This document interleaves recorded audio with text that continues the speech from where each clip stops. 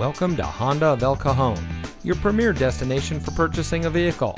And here's a look at another one of our great vehicles from our inventory and comes equipped with Bluetooth smartphone integration, power outside mirrors, heated front seats, steering wheel controls, privacy glass, MP3 player, keyless entry, climate control, stability control, rear spoiler, and has less than 55,000 miles on the odometer.